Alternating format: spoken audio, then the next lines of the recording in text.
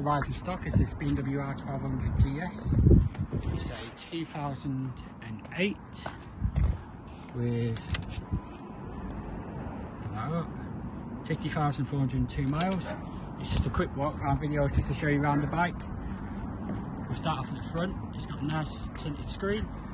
Bike checked off a so there's a bit of dirt on there. A lot better once it's gone through the valeting process. Headlight guards in nice condition, as is the beak. Mud guards nice. So is the front wheel. The fork legs.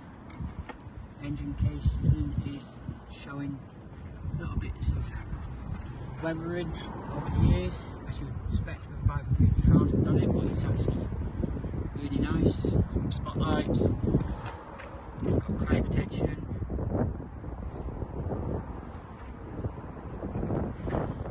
Drive shafts are in nice condition. Rear wheel does have full BMW luggage. We do have a couple of dents inside. Side's not as bad. It's also the top box, the tank bag. Frame's nice. The engine this side's nice. Wheel this side. Rear seat's in nice condition, as is the main seat. There's a under each tank bed. Oh, the dash does as it should.